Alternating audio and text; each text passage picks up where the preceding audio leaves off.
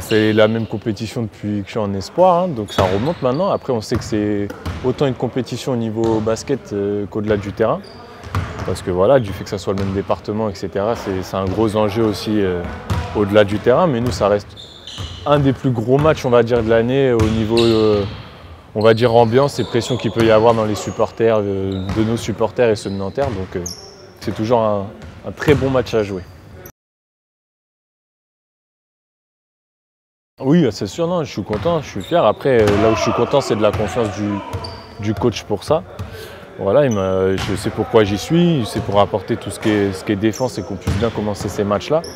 Donc euh, moi je suis content, il me donne plus de responsabilités je l'en remercie, ainsi que les dirigeants aussi qui vont derrière, parce que c'est une grosse marque de confiance, je pense, de sa part, de mettre euh, un jeune comme ça dans un 5 majeur. Donc c'est toujours bien. C'est ça, ben on sait que offensivement, il y a des gros talents sur tous les postes. Après, euh, l'attaque, ça ne permet pas de gagner forcément tous les matchs. Donc on doit passer par la défense pour gagner. Et on est obligé, là, voilà, ça fait deux, équipes qu'on stoppe à très peu de points quand même par rapport à leur moyenne de points marqués par match. Ça montre qu'on a une identité qui commence vraiment à se créer sur le plan offensif et défensif, pardon, et c'est ce qui va faire qu'on va avancer et qu'on va rester au tableau aussi tout au long de la saison.